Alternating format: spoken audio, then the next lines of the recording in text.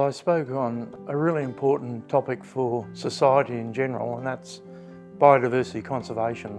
It's really important because we rely on biodiversity in so many ways for clean air, for clean water, for ecosystem services, and also for well-being. People have been measuring the rates of extinction, and they've showed that the rates of species extinction have accelerated in all vertebrate groups. Since industrialisation, and the expansion of the human population, the rate of uh, species extinctions has accelerated.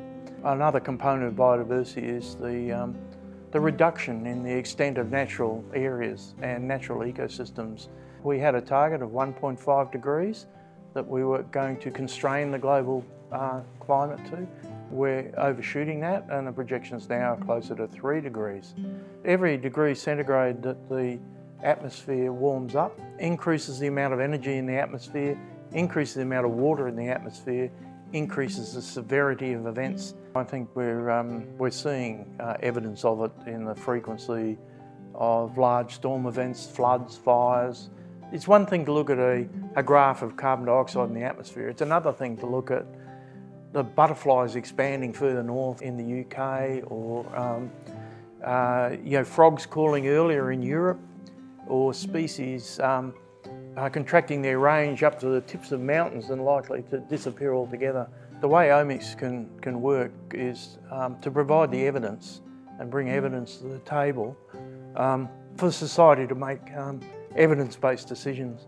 In my case, we use uh, genomics to monitor the rate of sex reversal from the coast of Australia all the way up into the Alps and we can show that the sex reversal rate changes with temperature and you can get a very precise um, relationship. So omics provides a very good indication of uh, a very uh, sensitive indicator of climate change and that's useful for the politicians and society in general to make uh, evidential judgments on what, what action to take and, and, and why it's important.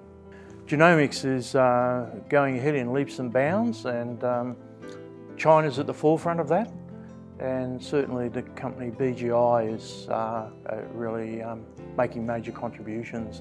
So BGI has been um, pivotal in my career in the sense that uh, when I first got into genomics um, uh, with the dragon lizard, uh, I worked with BGI uh, to generate the first genome assembly for a reptile in Australia. That research has continued uh, since 2014 when I first came to BGI. Uh, it's continued and um, generated some really exciting results, some of which I presented today at ICG, but there's a lot more results uh, that have come out of that work. So BGI was very important to me, but it's also very important to Australia, a relationship with, uh, between Australia and BGI. And so um, they gave a boost to Australian genomics at the very early stages, uh, for which uh, we're very grateful.